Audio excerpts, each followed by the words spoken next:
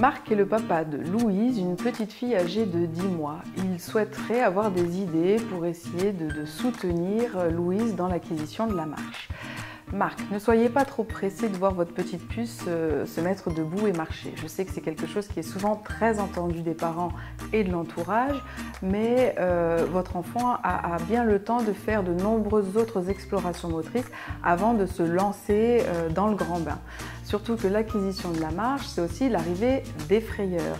Votre enfant va découvrir un univers beaucoup plus vaste, va découvrir les tables basses, va découvrir le canapé et potentiellement des objets très fragiles portés à hauteur de ses yeux sur les étagères.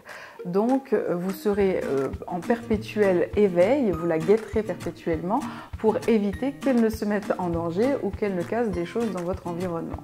De plus, 10 mois, c'est un petit peu jeune pour un enfant pour qu'il accède à la marche. Donc l'éveil psychomoteur ne signifie pas une hyper-stimulation de l'enfant sans respect de son rythme. Hein. Notre intérêt, c'est vraiment d'éveiller l'enfant en fonction de ses besoins et en fonction de son rythme la motricité libre est donc le plus beau cadeau et la plus belle aide que vous pouvez offrir à Louise. Qu'est-ce que c'est que la motricité libre?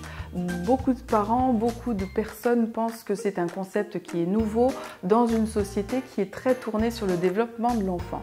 Mais pas du tout. La motricité libre nous vient des années 50, années d'après-guerre, des pays de l'Est et notamment du docteur Amy Pickler, qui était pédiatre et qui a étudié le développement de l'enfant euh, dans une pouponnière en euh, essayant de voir si un enfant laissé libre de ses mouvements euh, avec un environnement adapté se développait tout aussi bien qu'un enfant à qui on proposait des stimulations ciblées. Et effectivement, ce principe de motricité libre montre qu'un enfant placé dans un environnement bienveillant, adapté et qui évolue en fonction du temps va se développer et passer par toutes les étapes de son développement psychomoteur sans problème et sans difficulté.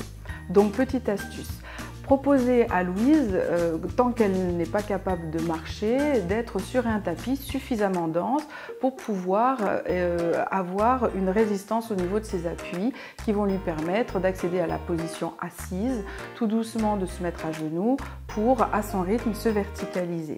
Placez autour d'elle des objets sur lesquels elle puisse prendre appui. Quand vous voyez qu'elle commence à vouloir se redresser, une table basse à mi-hauteur, éventuellement un chariot de marche, en étant vigilant que ce chariot de marche ait une bonne stabilité.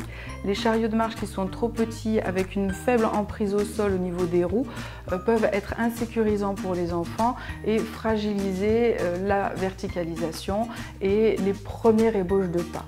Donc un chariot de marche ou les barreaux d'un parc qui ont pu être utilisés quand votre petite Louise était plus petite vont lui permettre de se tenir, de se redresser, de tester à son rythme ses équilibres et ébaucher à son rythme les premiers pas de marche avant de se lancer quand elle sera prête.